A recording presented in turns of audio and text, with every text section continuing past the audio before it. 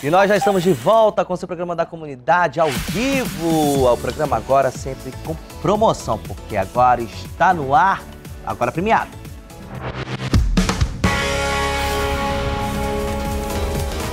Agora, agora, Lucas, nós vamos direto para o Zumbi 2. Não diga alô, diga se a brigadeiria.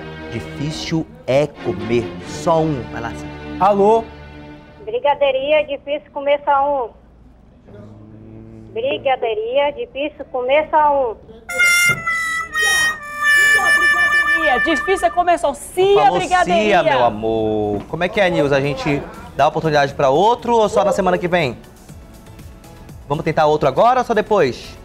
Tá, depois então, porque agora a Márcia Lasmar tem notícia vindo aí, né? Tem, tem notícia. Você que tá do outro lado, fica ligado porque a nossa ronda policial do programa da comunidade vai começar agora. Ronda no ar.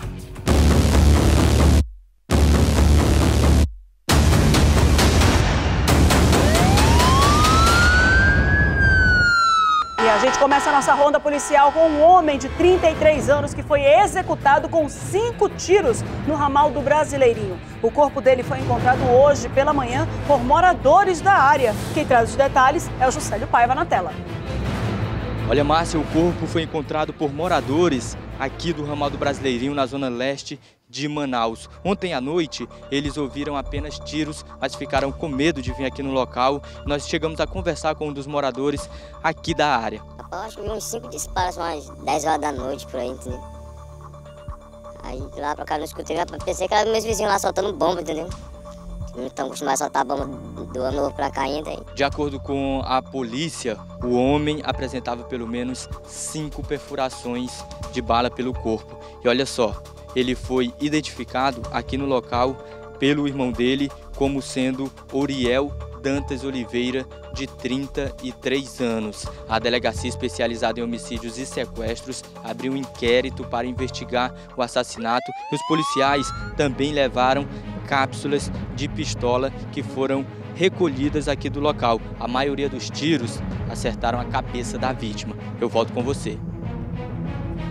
A gente vê um caso de execução lá no ramal do Brasileirinho, que não é o primeiro. Além de ser um local de execução, é um local também de desova de cadáveres, né? A gente vê isso rotineiramente aqui e, infelizmente, a gente vê mais um caso que tem características de acerto de contas por causa do tráfico de drogas. Porque é só o tráfico de drogas que faz com que a gente encontre cadáveres assim, corpos desse jeito. É, as pessoas mortas, as pessoas morrem, a, o, quem deve, quem tem qualquer tipo de dívida com tráfico de drogas ou até mesmo disputa por ponto de tráfico de drogas acaba desse jeito, morta.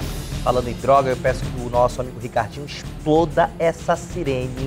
Aumenta o som dessa sirene, porque só nos primeiros dias do ano, mais de duas toneladas de drogas foram apreendidas na tarde de ontem. A equipe do DRCO apreendeu uma tonelada de maconha de skunk em uma casa no bairro do Santo Agostinho, na zona oeste. A droga está avaliada em 5 milhões de reais. A gente confere essa reportagem com o Alisson Mota. A droga estava escondida em uma casa no Santo Agostinho, na zona oeste da capital. É, a gente montou uma campana porque a gente tinha as informações já de investigações já de, de um tempo e ficamos aguardando o momento oportuno.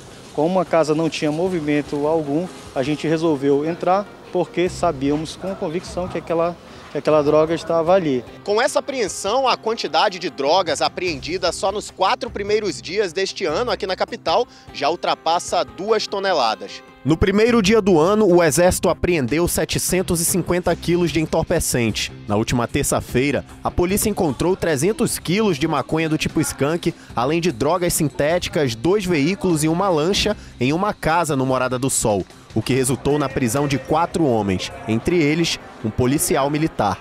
Essa quantidade sempre entrou, né? Na verdade, o que há hoje é eficiência do trabalho e da, das diretrizes traçadas pela, pela nova gestão, pela gestão da Polícia Civil, pela união entre as demais forças militares também. Nós temos a cooperação de todos. né? A polícia vai continuar as investigações para identificar a origem da droga. Olha só, Bruno, o que a gente muito bateu em 2017 com relação a essas apreensões todas é, é o trabalho que precisa ser conjunto. Tem que ter um trabalho da Secretaria de Segurança Pública, juntamente, óbvio, com a inteligência da Secretaria de Segurança Pública e Exército. E esse trabalho ficou muito caracterizado no primeiro dia do ano, quando o Exército apreendeu drogas em Japurá. 750 quilos de entorpecentes já nas primeiras horas de janeiro de 2018. Você está acompanhando agora imagens do Exército, olha aí, ó. Terceiro, olha ali, ó. Você está vendo aí, essa imagem é lá do Morada do Sol, onde 300 quilos foram apreendidos, com 750, uma tonelada e 50. A gente tinha aí um policial militar envolvido, um policial estudante de medicina, o Robson Siqueira, conhecido como Robinho. E agora a gente traz essa outra apreensão lá no Santo Agostinho, que foi um desdobramento da apreensão da Morada do Sol. Que quando eles prenderam as pessoas envolvidas lá na, na grande apreensão de 300 quilos na Morada do Sol, eles acabaram chegando a esse entorpecente no Santo Agostinho. Então, a Delegacia de Repressão ao Crime Organizado, sob o comando do Dr. Guilherme, está mais uma vez de parabéns. Parabéns ao Dr. Guilherme, que é o líder dessa equipe, e parabéns a todos os investigadores da Delegacia de Repressão ao Crime Organizado. É uma pena, nós não podemos dar os nomes deles porque eles trabalham em segredo, trabalham em sigilo e eles ficam ali, olha, na mutuca, ficam lá de campana para poder verificar o movimento da casa. Você viu que o doutor Guilherme disse aí na sonora dele que viu que a casa não tinha muito movimento, que a casa era muito, muito silenciosa para uma residência, o que já trouxe aí algumas suspeitas de coisa errada, porque casa tem que ser movimentada, casa tem que ter vida. Se na casa não tem vida, não está movimentada, entre uma pessoa ou outra, é porque tem alguma coisa errada. Então, parabéns à equipe de investigação do DRCO. Nós não podemos dizer os nomes de vocês, mas sintam-se desde, desde já homenageados. Todos homenageados e vocês têm o nosso respeito, porque em cinco dias ter essa apreensão enorme, uma tonelada e 50 quilos, mais de uma tonelada só da DRCO e com mais o, todo o trabalho que foi feito pelo Exército também. Parabéns a todos vocês. 12 e 11. Olha só, 260 carregadores de carga e flanelinhas vão trabalhar cadastrados na área da Manaus Moderna. O projeto foi lançado hoje pelo governo do Amazonas, né, pelo governador do Amazonas, Amazonino Mendes, e o repórter Juscelio Paiva ele foi lá e conferiu tudo. Foi lá conferir tudo e é ele que a gente chama agora aqui na tela. Juscelio.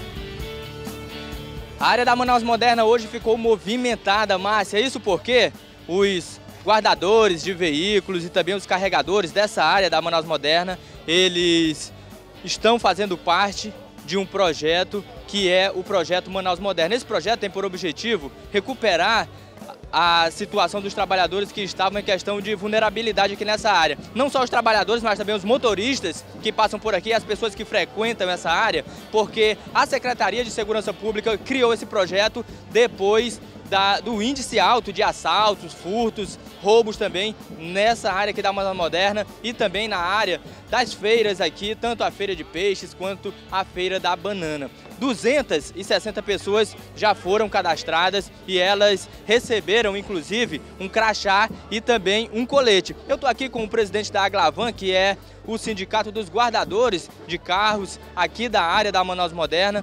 E, Henrique, é uma situação que vocês já batiam há tempo, essa questão de serem identificados, principalmente nesses pontos de maior movimento, como é o caso aqui da Manaus Moderna. É verdade, isso é um sonho nosso que se realizou, né, graças a Deus em primeiro lugar e ao governo do Amazonino Mendes, né, que hoje realmente os guardadores de veículos dessa área aqui estão identificados, reciclados pela Polícia Militar, do qual hoje a gente, nós já podemos confiar. Né? Nós temos agora um crachá recebido pela Secretaria e um, e um, e um colete. Então, muito obrigado aí, tá tudo legal mesmo e, e pode confiar. Pois é, é esse crachá aqui, ó, que nem o do seu Francisco de Nazaré. Seu Francisco, eu queria perguntar ao senhor há quanto tempo que o senhor trabalha nessa área aqui da Manaus Moderna? Desde fevereiro de 1985. Há mais de 30 anos, então. E nesse intervalo aí, nessas três décadas, o senhor já trabalhou de quê aqui? Hoje o senhor está como guardador de carros, mas já, com certeza, já passou por outras funções aqui nessa área da Manaus Moderna. Eu trabalhei como carregador, vendedor ambulante, como vigia de feiras. E hoje agora guardador e reparador de veículos.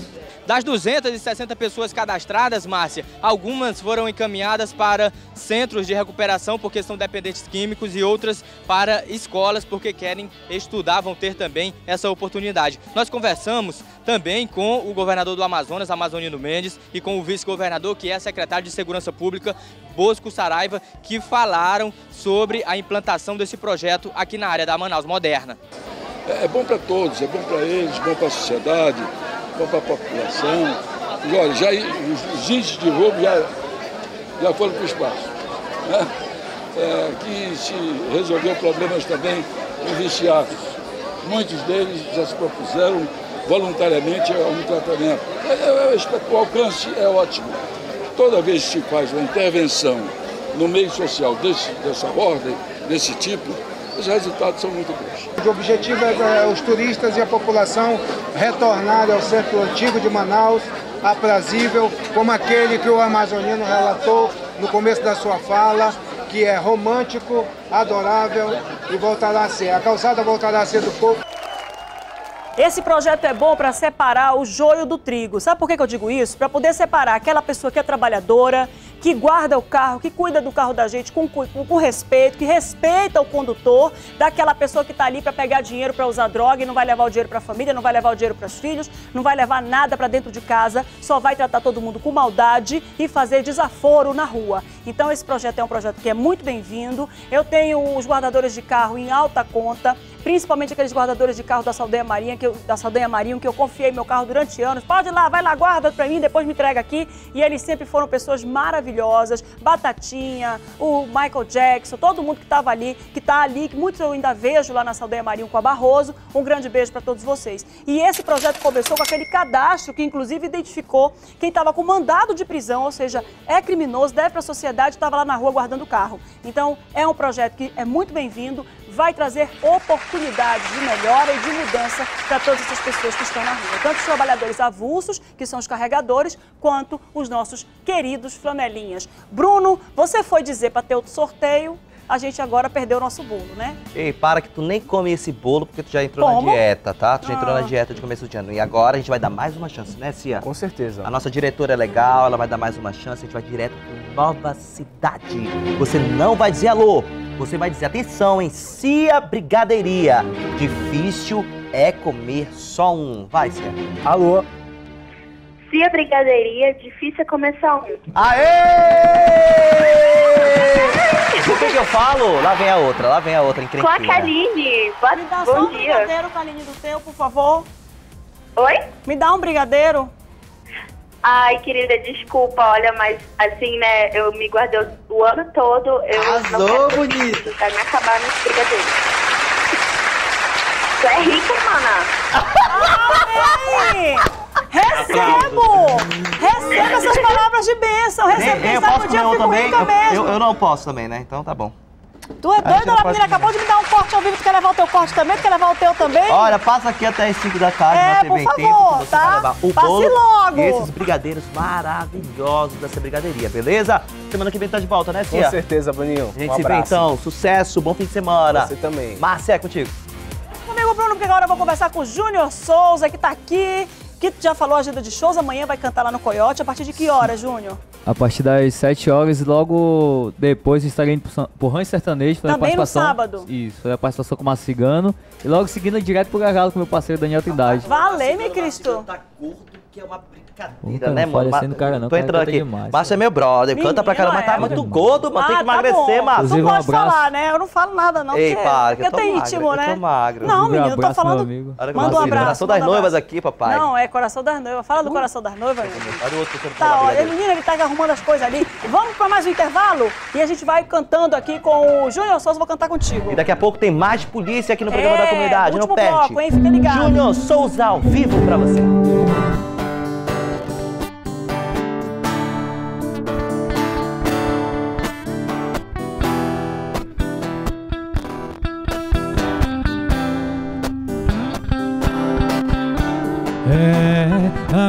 Tá com tempo pra me escutar. Agora diz que ama e que vai mudar. Eu sei que a cena é forte e vai doer agora. Arrume minha mala e tô caindo fora. Você não percebeu, mas esfriou. Caiu na rotina, você descuidou. Eu só queria um pouco de carinho. Fica tranquila, amor, eu tô fingindo. A mala é falsa, amor. Engole o choro, embora eu não vou. Agora vê se aprende a dar valor. Matar minha sede de fazer amor. Oh, oh, oh. A mala é falsa, amor. Engole o choro, embora eu não vou. Agora vê se aprende a dar valor. Matar minha sede de fazer. Oh, oh, oh, oh.